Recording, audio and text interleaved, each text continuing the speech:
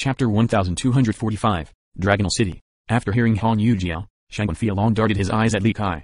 Despite being unwilling, he still scowled and said, Our disciples were incapable, and out of consideration for young sister Han, I won't pursue this any further.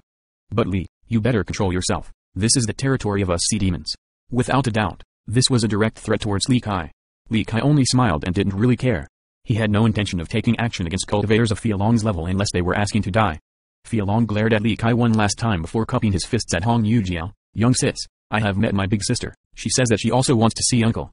Wait for us after the birthday celebration of the Jian ancestor. We will visit your house and see uncle then. Han Yujiao chose to be quiet instead of answering.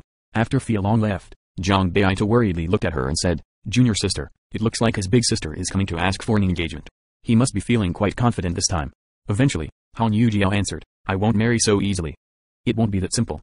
Despite not staying at Dongting Lake, Zhang Beiita still knew a few things, resulting in his worries. I heard that the Wyvern country has always wanted a human with a great bloodline to help pass on their own.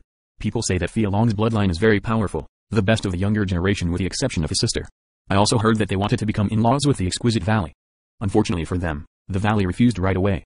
Zhang Beiita continued, Sister, your bloodline is the most exceptional in our lake so the Wyvern country won't give up that easily. Plus, with his sister coming in person, they will also have the backing of the Roaring Conch, giving them ample leverage. HMPH, so what if Shang Wenfin is back? Han Yujiao snorted, can they really force this marriage? Zhang Beiita could only sigh. There was no point in worrying about it since he wasn't strong enough to do anything. Regardless of her tough posturing, she still reminded Li Qiye, young noble Li, there's no need to worry about this Shang Wenfi along. However, his sister, Xu Wenfian, warrants some caution. She comes from the Roaring Conch and is doted on by its ancestors. People say that there is a possibility of her marrying the Seashio prince to become the mistress of the Roaring Conch. Dot. Sometimes, taking a step back is the right way to go about things. You don't need to go head on against the Wyvern country. She warned him with good intent. After all, the Roaring Conch is very powerful at the Dragon Demon Sea. They can even order the sea demons around the world. So it turns out that Shang Long came from Wyvern, a great power in the sea region. Of course, the thing they were most proud about was not the true dragon bloodline coursing through their veins, it was Shang Wenfian who was able to join the Roaring Conch and become one of the youngest god monarchs. Li Qiye responded to these warnings with a smile. Hong Yuji sighed because she understood that her words went in one ear and out the other.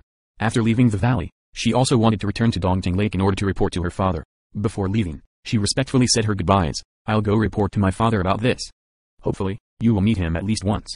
Li Qiye insipidly responded, tell him to come meet me at Dragonwell. After she left, Li Qiye told Zhang Bei to Go back and clean up your belongings. We'll be going to Dragonwell. Zhang Beiita nodded. At this time, he would obey any command from Li Qiye.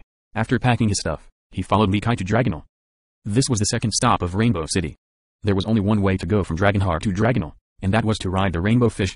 Just like Dragonheart, no one knew where Dragonwell was located. They only knew that these fish were the only method of transportation linking all the cities together. At the very least, no one had heard of someone being able to go from one city to another using a different method. The duo arrived at the fair again and found that there was already a long line. It was still an ordinary old man collecting money at the entrance. He had a light blue robe with an indifferent expression. He stared at the cultivators as if all of them owed him money. When it was Li Qiye's turn, Li Qiye said, to Dragonwell.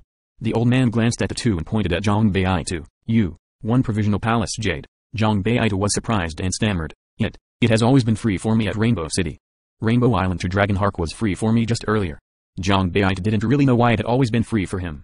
Maybe that particular old man knew that he didn't have enough money to pay. Nevertheless, always paying no fee left him a bit embarrassed since he wasn't the type who relished taking advantage of others. One provisional palace jade. The old man ignored him then reached out his hands towards Li Qiye and coldly demanded, You, 1000 virtuous paragon jades. That's outrageous. Zhang Beiita was scared silly. It didn't cost us that much to come here from Rainbow Island. Pay if you want to go. If not, then scram already. The old man angrily shouted, leaving no room for negotiation. Zhang Beiita glanced at Li Qiye. This old man clearly wanted to play them, especially Li Qiye. Li Qiye only smiled with a carefree attitude as he handed a black pouch over to the old man. The old man put the pouch away without looking at the contents before whistling for two rainbow fish. How much will you charge me to go to the city in the clouds? Li Qiye smiled at the old man. The old man didn't bat an eye as he replied with the same emotionless expression, who knows? Money is not a problem. Li Qiye leisurely pressed on. I will have to go up there eventually, so take out your abacus to calculate how much it will cost. The cold old man didn't want to answer, so he didn't make a single sound. After sitting on the fish, Li Qiye added in a serious tone, since I have to visit it either way, I hope the rainbow fish will take me there at that time, okay?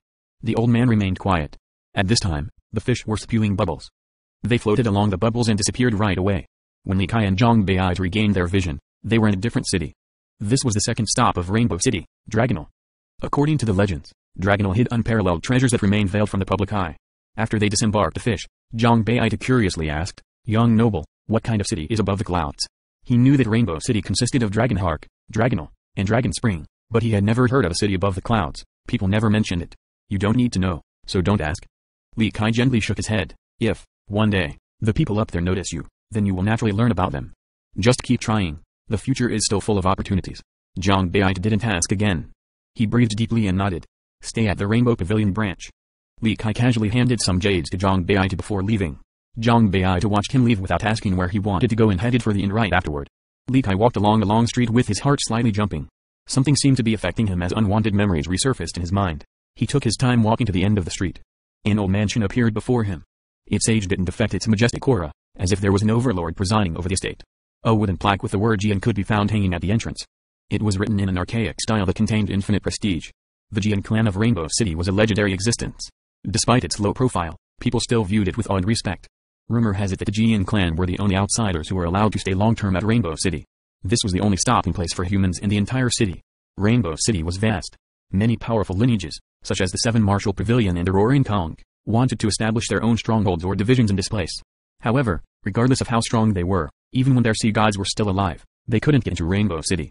These powerful lineages didn't dare to act recklessly here without permission from the city.